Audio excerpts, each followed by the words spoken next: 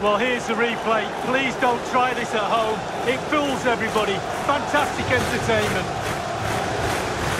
Well, the goal again, albeit from a different angle.